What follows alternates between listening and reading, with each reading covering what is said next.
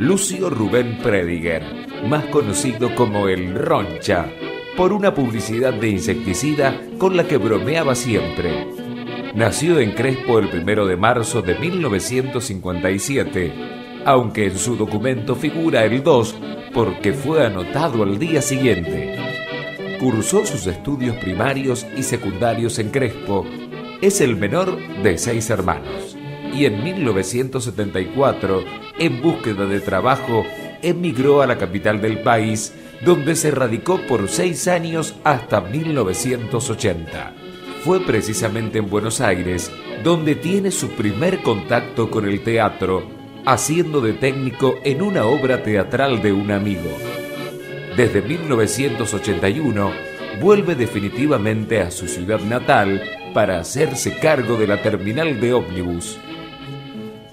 El 24 de marzo de 1984 contrae matrimonio con Gloria Beatriz Jacob y fruto de esta unión llegan sus tres hijos, Vanina, Sebastián y Agustina.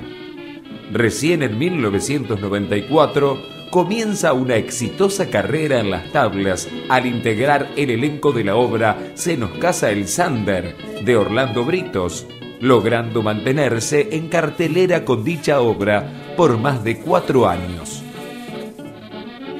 Luego llegaron las obras El Vater se enojó con Jansenbach en 2001, El Vater se va a la nocturna en 2002. No tocas nada Alderie en el 2005.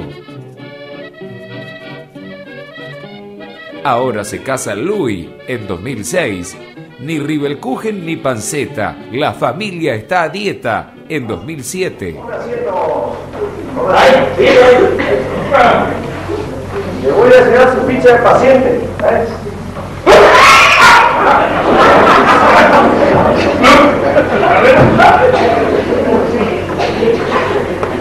Si es la primera vez que viene a mi consultorio, ¿no? ¿Eh? Que si es la primera vez que viene a mi consultorio. Sí, doctor. Yo antes iba al curandero. Al curandero especialista en empacho y mal de ojo. O sea que es empachólogo y mal de ojólogo. Y me dijo que me hiciera unos análisis, ¿eh? Porque hay que pronunciar bien análisis. ¿Sí? Y ya me lo hice. ¿Y quién se lo hizo? ¿Y el analizólogo quién va? La vez María y el Flogger Oscar en 2009. Y de paso voy a ir a la farmacia a comprar pastillas para hacer caca. ¿Sabe qué me contestó el bombao? ¿Y por qué no comprar la caca hecha?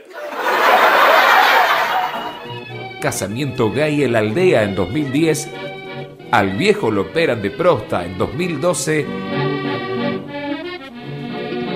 Y loca la vieja, loca la hija en 2014.